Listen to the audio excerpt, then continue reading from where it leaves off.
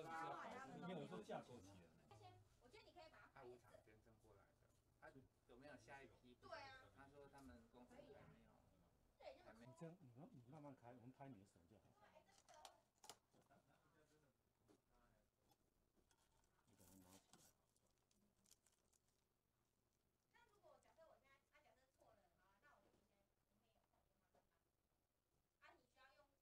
那你正反面都一样。你就你拿着一包这样，你的手的。把它拿起来。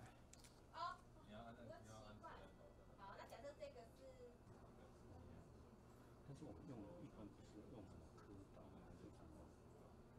就是打港香兰，都还在顺天堂之下。啊，一零零六零八。啊，并且我零六零八我卡，啊，另外一零幺零二。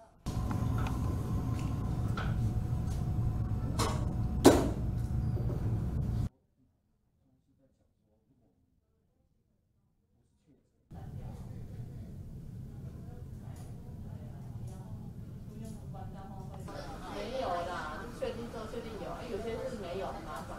哎昨天我们获得呃新冠一号复方的药物，我们从今天开始，哦，会跟腹腔呃负压隔离病房的患者进行续视讯的诊疗。啊，我们现在在负压隔离病房里面，大概会有二十个患者愿意来服用我们的新冠一号，哦，这大概会是彰化县的首批患者来服用新冠一号。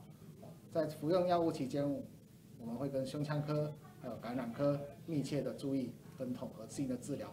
目前清冠一号我们主要是主要主要使用在呃新冠肺炎确诊的患者身上，啊没有确诊的患者或想要保养的患者其实是不需不太不需要去服用的，也不要去服用，避免造成身体其他的负担。哦，不对症这样子是不好的，因为现在这个清冠一号的复方呢，我们是需要中医师哦亲自诊治过患者以后，我们才开立的，它属于药物类，并不属于属于保养。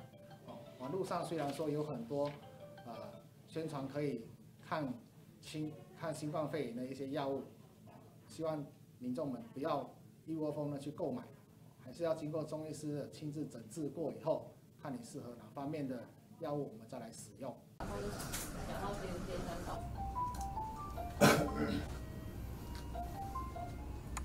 喂，呃，你好，谢东志先生吗？